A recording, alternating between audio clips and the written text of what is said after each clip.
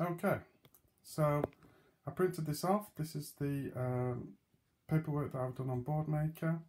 And if you've, like I say, if you've got certain iPads, um, I'm sure that I've assigned it to all iPads. So we've got first page, which is the scones. And then we're going to look at the equipment that we're going to use or have used. So you can get your people to look at what equipment we need and make them read what we need. And then obviously one of the targets may be that you need to collect your equipment. So this is where then you'll have to go and find this equipment, okay? The next step after you've got all your equipment ready is to then think about your ingredients. So I got these prepared or I've got all the ingredients out ready and what I did miss off the equipment list, if we go back a minute, is the weighing scales. I forgot to put the weighing scales on, so I'll go and put that on now.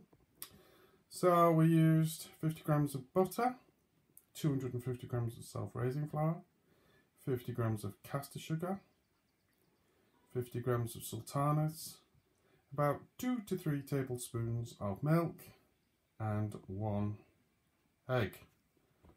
Does that look like an apostrophe? Sorry, an exclamation mark. That should be one egg.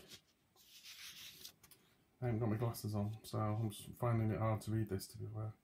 Uh, so the first task was obviously then to weigh out and put the flour in the mixing bowl, then weigh the butter and put that in the mixing bowl, and then the next task, step three, was to rub in the butter until it looks like breadcrumbs, which you'll see me doing on the video. The next step was to then add, well I added the sugar before I put in the milk, but he says here add the milk, two tablespoons, to the mixing bowl and then put in the sugar and then mix with a wooden spoon, which is what I did. I think I used my hands to form it all together perhaps. Yes, I think I did, can't remember. But if you don't want to get your hands sticky, try using a wooden spoon. Like I say with the milk, just add it gradually and if it's too dry, add a bit of milk and if it's too sloppy then you might have to add a little bit more flour.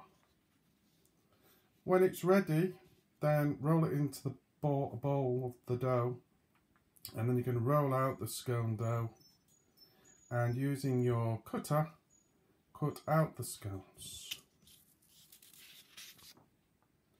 Then we're going to put them on a baking parchment on the tray. I use that black uh, parchment, that non-stick.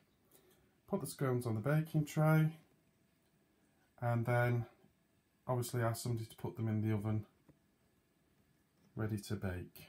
Okay. And that's as simple as it is.